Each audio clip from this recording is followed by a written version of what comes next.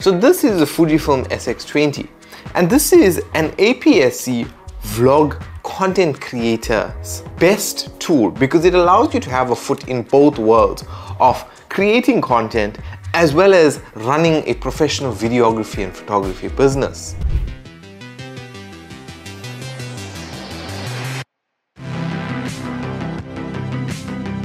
The SX20 can take you to the edge of the world and back. With its lightweight design, it can disappear into your backpack because it's so compact and lightweight. It doesn't take up too much space in your bag and I mean you can show the world all your talent because of the amount of features and its large battery capacity. So this camera was released in June of 2023, right? And some of its key product features, firstly, it has a back illuminated Trans-X CMOS 4 sensor that works to enhance image quality by reducing the amount of noise. The X Processor 5 has AI technology built in and this camera actually has 19 film simulation modes inside. So it can replicate analog looking classic camera photos that have been developed by Fujifilm over the last 85 years. The X5 processor also has features to allow for subject detection through its deep learning AI technology and it can provide AI face tracking, a detection of human faces and eyes, as well as it can automatically detect a broad range of subjects which include animals,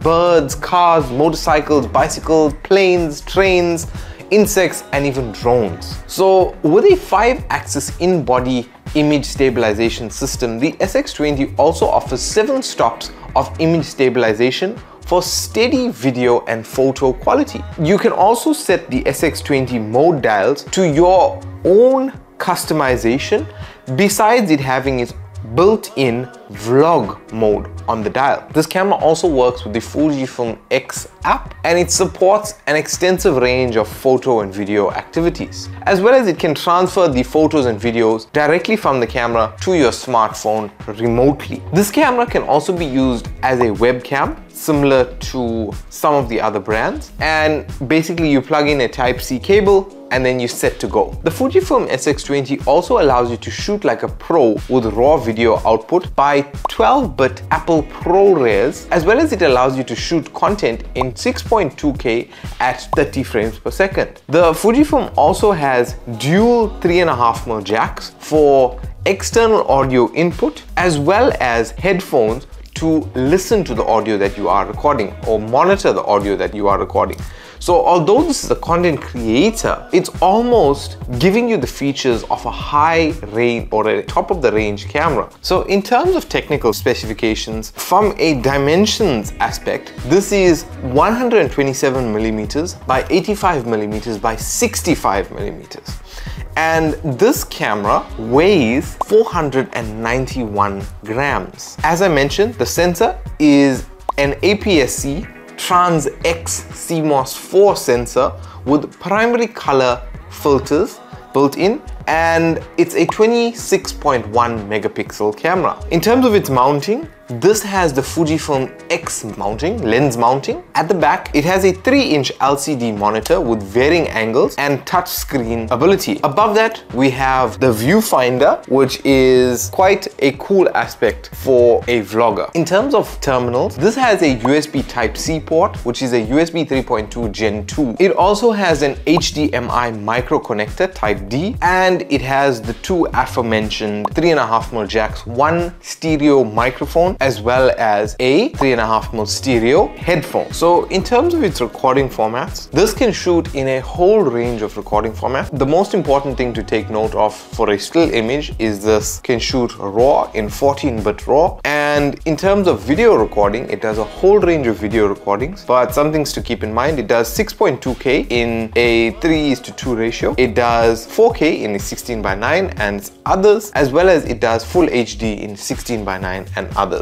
Moving on to the battery. So the battery is an NPW235 lithium ion battery. And in terms of the battery life, right, for still images in economy mode, you can get approximately about 400 shots. In your regular mode, you might get about 750. So in terms of actual battery recording time for video, if we're shooting 6.2K, we get approximately 85 minutes worth of recording. Then if we're shooting 4K at 60 frames per second, we get about 80 minutes minutes worth of recording. Full HD, if we're shooting 60 frames per second, we get 95 minutes, as well as if we're shooting 120 frames per second. In terms of continuous battery recording, it is slightly longer than actual. So, I mean, if you're shooting 6.2K, we get about 120 minutes instead of 85. And then 4K, we get 110 minutes. And 1080p, we get approximately 150 minutes worth of recording time. In terms of transmission, this has Wi-Fi 5 built in, as well as Bluetooth version 4.2 for connection to the app and all of those things. Uh, one of the things I find most interesting about it, besides all the dials and all the cool features, is the fact that this, being a vlogging camera, still comes built in with a flash, as well as not forgetting the 19 modes worth of video. I mean, uh, photo, sorry, the 19 different retro photo modes. So without going too far in depth with this camera, the first question would be, who do I think this camera is best suited for? So this is suited for content creators, but not your, hey guys, welcome to the vlog, not those sort of content creators. It's built for your professional, more your videography style content creators that wants to get awesome still pictures besides just, hey, welcome, this is what I'm doing, I'm going to the grocer, that sort of thing. No. So this is built more for a professional situation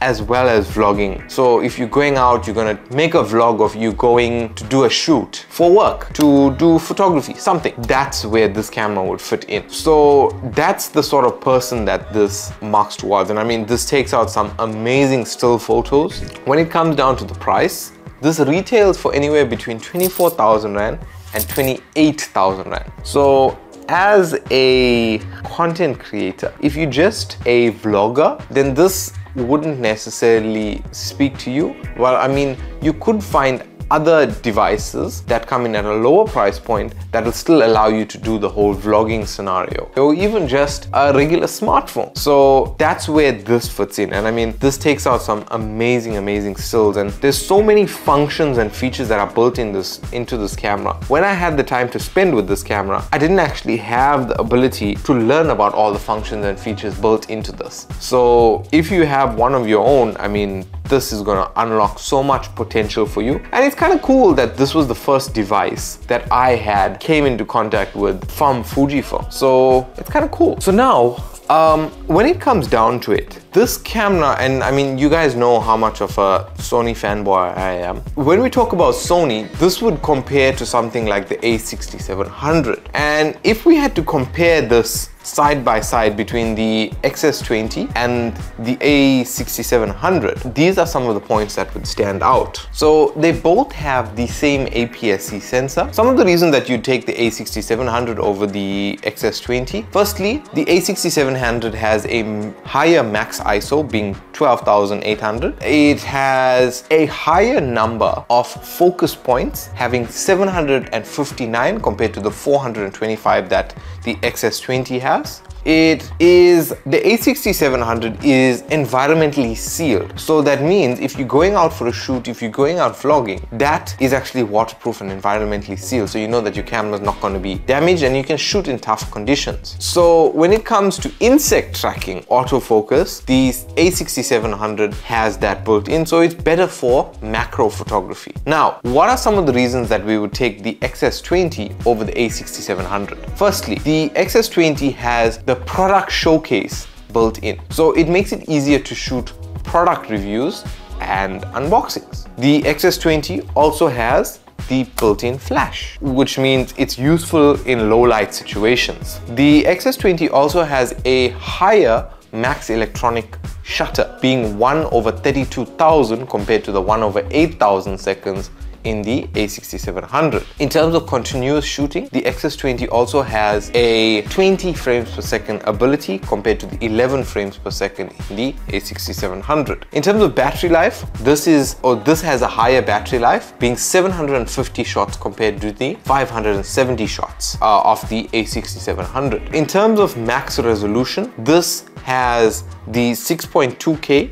whereas the A6700 has a 4K max resolution. So yeah guys, that kind of rounds it up with the XS20. So I mean, uh, during the Hindu festival of Diwali, I was actually using this camera to take a couple of snaps of me and some of the other stuff that is going on. So it was actually quite a cool experience to have this camera, take a couple of snaps, and it did take quite a few awesome pictures. And I mean, when you think back to it, I mean, this is a 28,000 Rand or 24, 28,000 Rand camera compared to my 10, 12,000 Rand camera. So it's going to be good at the end of the day. Yeah, but it was also an awesome experience to experience something out of our comfort zone, being Fujifilm. And I mean, as you know, we've worked with Nikon, we've worked with Sony, that have been kind of my two cameras. And I mean, they work quite closely together. Although they might be two separate companies, I mean, they're very much similar. And Fujifilm has been in the game for a very, very long time. So it was kind of cool to have this as one of the first exposures to the brand and to one of their content creator products.